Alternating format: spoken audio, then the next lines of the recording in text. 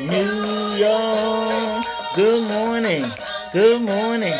Hey, oh, what's today? Wednesday, hump day. Happy hump day. Happy, happy, happy hump day. Good morning. Feeling like uh Jay Z kind of morning. I'm in Brooklyn, so going with the feeling of Jay Z. All right. Women's History shout out goes to Angela Davis, American political activist, philosopher, uh, academic, and author.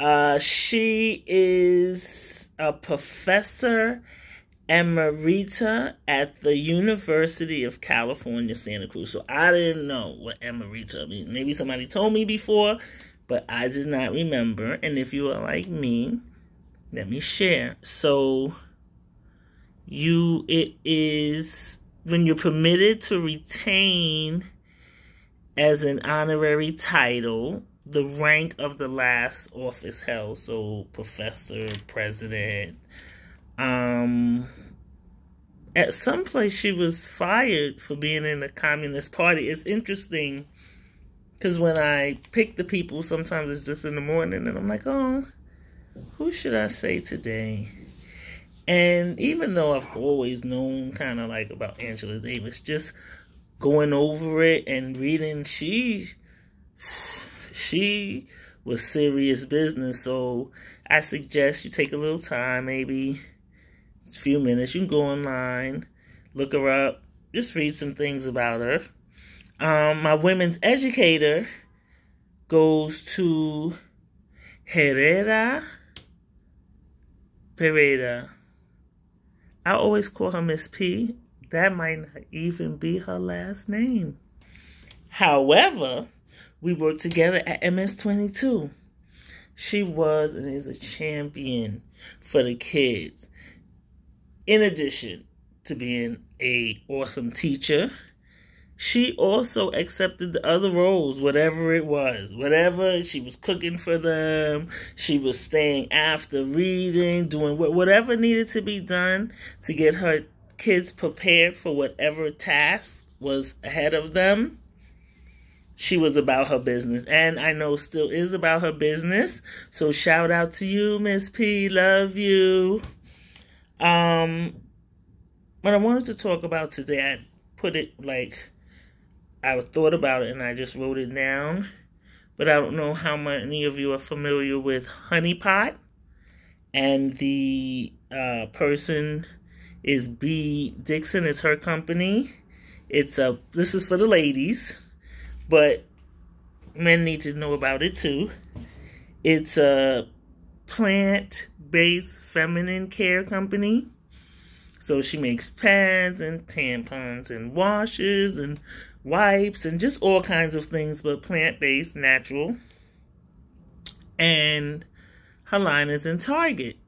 I don't know what other places, but I definitely know Target because she made a commercial. And in the end of the commercial, she says when the next black girl comes along with a great idea, they'll have a better opportunity. And that means a lot to her. Well, why did she say that? She got nasty comments and that she was a racist and blah blah blah and they should boycott her. Well, Beyonce has a BeyHive. I think Miss Dixon also has a beehive because they came back with just flooding her timeline with comments and buying everything up. Yeah. It was like the nerve of her. How could she single out black girls to make them feel like they're somebody special?